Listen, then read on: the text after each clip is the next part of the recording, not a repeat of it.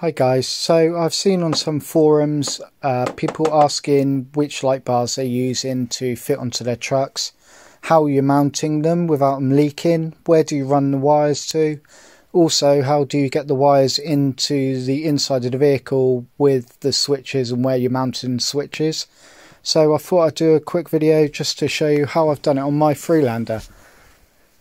So I've chose a 42 inch curved light bar for mine, bought it from eBay, was around about fifty pounds, I think it was. Um, I brought it about three years ago.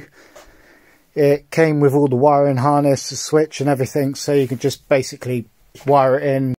The inside of the roof of the Freelander, it is actually double skinned. So what I had to do, I had to drill through both skins on the roof on the inside, and then I had to get a drill bit with like a bore circular piece on it to make a bigger hole to get the washer and a nut through for the bolt.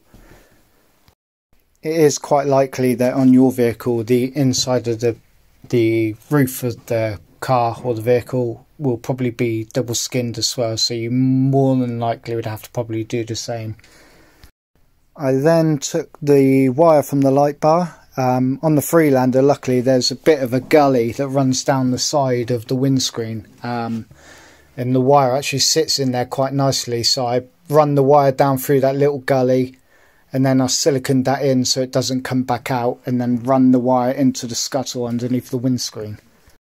Now with the wiring harness that actually came with my light bar what I've done I've wired there's a constant positive from the relay which I've put direct to the battery and then there's a switch live basically that I've connected to an ignition live and fuse box in the engine bay.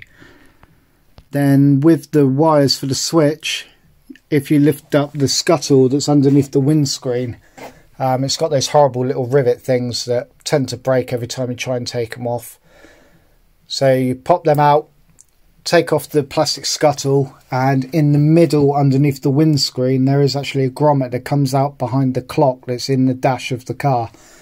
Um, and then I fed the wires in through there over to the right hand side of my steering wheel where I then installed my switch.